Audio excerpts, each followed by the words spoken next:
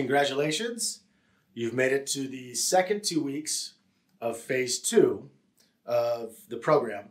Now, phase two, what we're going to do, increase the resistance that we've been using for phase one, which is the first two weeks of phase two of the program. Okay.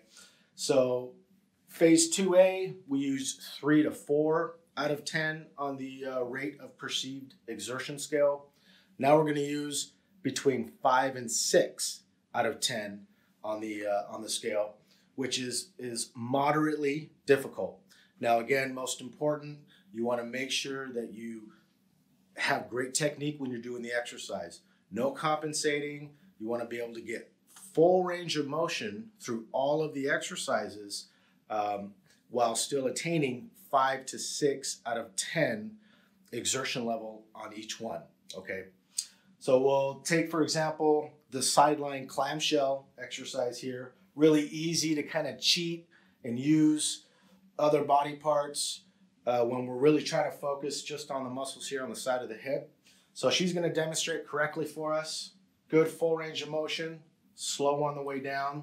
Okay, she's feeling moderate difficulty with this exercise, between five and six out of 10 on the exertion scale, but maintaining good, uh, good technique.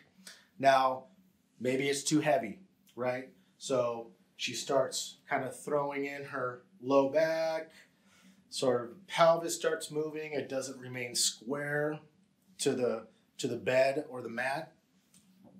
It's too heavy. Go down in resistance. I'd rather you err conservatively with less resistance than more. All right. Great. So go ahead and slip that off. Let's try a standing exercise. Now we're gonna try out, we're gonna do the standing external rotation exercise for the shoulder, which is really common to kind of throw in other body parts uh, to perform it. So our target muscles are here in the shoulder.